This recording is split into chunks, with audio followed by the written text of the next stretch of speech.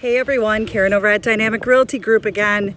We've got this cool property coming on the market. It's a three bedroom, one and a half bath ranch. It does have a finished lower level.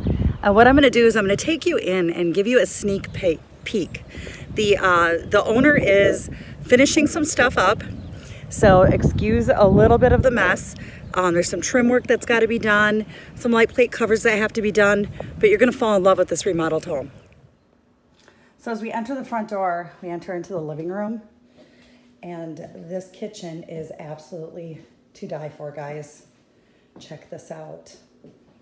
Look at that. We've got new flooring, solid surface counters, and this beautiful counter that's burnt, burnt wood.